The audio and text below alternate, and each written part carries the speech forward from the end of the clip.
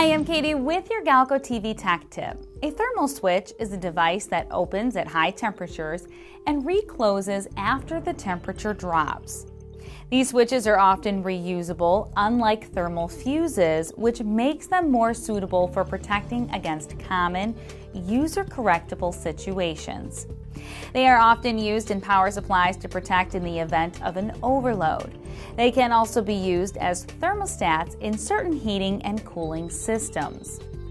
Some thermal switches will need to be reset manually after they have been tripped this operation is desirable in applications where an automatic and unattended restart may create a hazardous condition, such as a motor starting without warning. Switches of this type will usually be reset through use of a push button or with a special tool. You can view our selection of thermal switches as well as our repair and engineering services online at galco.com.